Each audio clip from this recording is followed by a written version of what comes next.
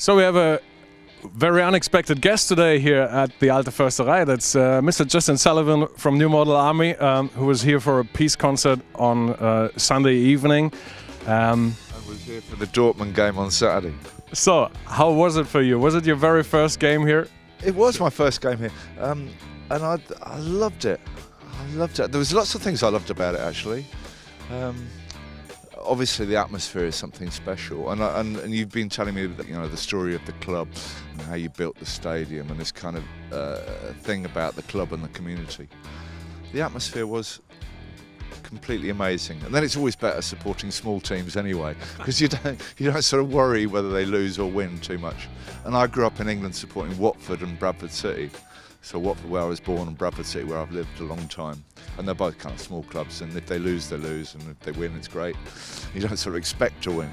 I have to say, it's the first time I've watched a game at the ground level, because I was with um, Anna, who's Toby's 10 year old daughter, and we went down the front, and uh, she was my guide. She was very good, and uh, singing all the songs.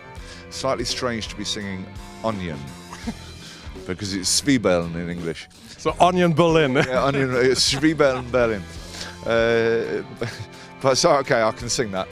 The non stop singing and the non stop kind of solidarity with, with the team and the idea of the community. That's kind of what football should be, I think. And it, and it isn't in a lot of ways in Britain in, in the same way. So I'm here as kind of guest and I'm going to support Onion Berlin and um, uh, I've heard I've heard stories about them and I, so I want to support the team because you I want to like the team as well. And I found on Saturday that I really liked the team. I liked the way they played. I liked the attitude. I thought some of the players were really, really, really good. Um, and just they were an easy team to fall in love with. That's that's very nice to hear. Did you recognize that there was uh, played a New Model Army song before the match? I, only did because Anna started laughing.